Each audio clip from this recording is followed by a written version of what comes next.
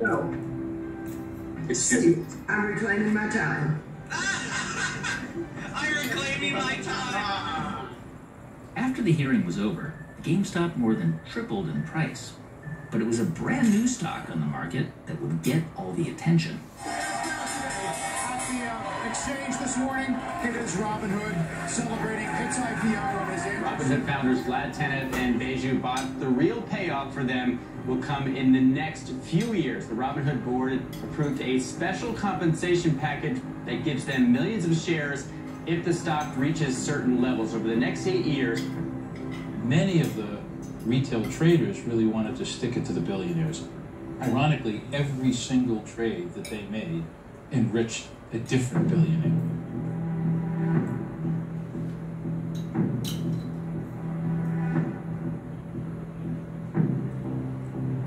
The financial system is very often a wealth extraction mechanism.